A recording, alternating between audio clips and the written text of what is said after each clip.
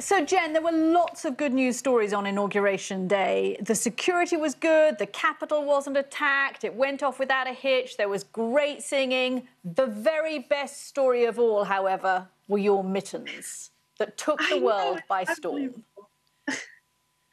yeah, me too. I mean, it really took me by storm, too. I could never have predicted that that was going to happen. So, what's happened for you since since the mittens went viral? Well, you know, I mean, I literally did nothing different last Wednesday than than any other day, and then all of a sudden everybody knew who I was. So it did take me a few days to sort of wrap my my head around that. And so on Thursday, I just got up and went to work. You know, I taught my class. I'm a second grade teacher, and then my report cards were due on Friday. So I just went about living my life trying to figure out what to do.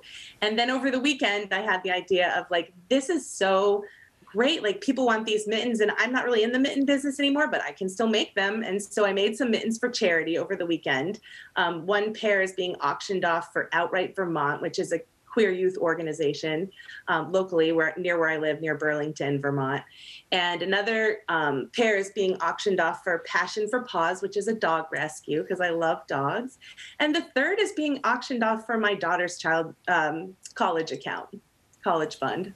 Well done, you. That's amazing. Tell me, though, about these Sanders specific mittens. How long has he had them? When did you knit them for him? You know what? I didn't knit them for him, and that is a misconception that I'm hoping to correct. I I actually oh. take wool sweaters that have been discarded. Either they have a moth hole, or they they you know they've fallen out of fashion, or maybe somebody washed them and they shrunk, and I cut them up and I sew them back together. So I piece them back ah. Together I line them with fleece, which is very soft. And then I use, well, I actually have one right here. I actually use the cuff of the sweater to be the cuff of the mitten. That, so I sort of just I love that. I love that. So they're recycled. They're recycled mittens. So Vermont. So yes, Vermont. people call them upcycled, which I think is very fancy, but they're also mitts. so warm so, so, warm. So I've got this image then. You go off you go off to do your jobs last week, you come back to look at the odd email in your account, and suddenly there's 10,000 emails in there. Is that how, is that what happened? That is what happened. Yeah. And they started pouring in on Wednesday. And people found my email address on Twitter because a similar thing to this happened last year on a much smaller scale when Bernie was wearing the mittens on the campaign trail.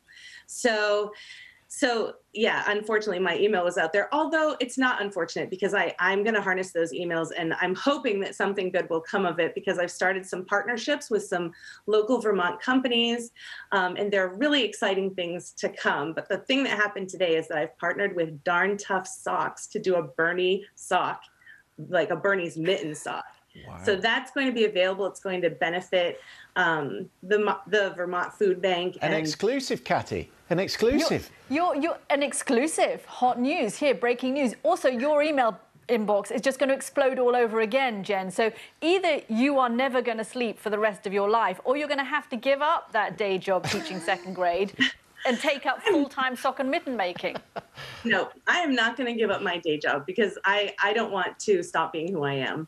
But I have I I have come to the realization that this is and can be a movement. You know, this was an act of kindness that I did years ago. Um, and I expected nothing in return. And and what happened is in our our world's darkest days of the pandemic, everybody had a chance to it's, laugh about it's something. Great. Have you heard it from Bernie? So have you heard from Bernie? I have, yes.